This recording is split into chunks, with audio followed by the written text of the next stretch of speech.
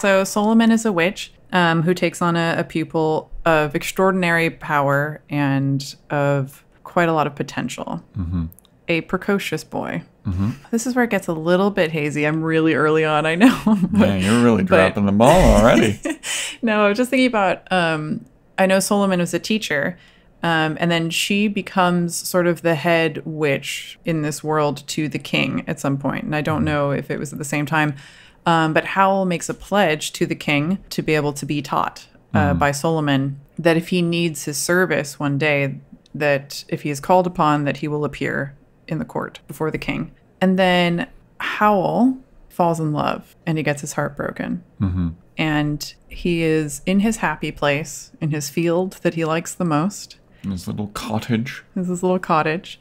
And um, he catches a shooting star and he takes his heart out of his body and he puts his puts it into this star and it becomes Calcifer who is this fire that contains his heart Fire demon. fire demon That he he refers to himself as a fire demon. correct self-identifying Yeah. just after he does this, he hears and sees a mysterious girl with silver hair in the distance mm-hmm. call out to him and say to find her in the future because mm. she knows how to, for him to get his heart back. Mm-hmm. And then she disappears into the void. And then Howl has a thing with the, the Witch of the Waste, mm-hmm. little tryst, and he ends up breaking the witch's heart.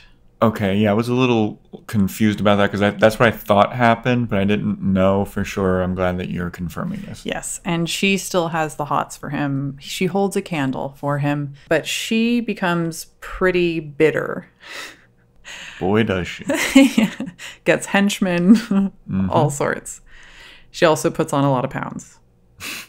well, we don't know. Maybe she was always looking like that. He did say that she was much more attractive back in the day. Here's what I was confused about. Was she the one that broke his heart? No, I don't think so. Okay, so we don't know who broke his heart. We don't know who broke his heart. Yeah, but that was like his first love. Okay. And that's when he was like, I don't want my heart in my body anymore. What happened was after he got his heart broken, he became a Casanova.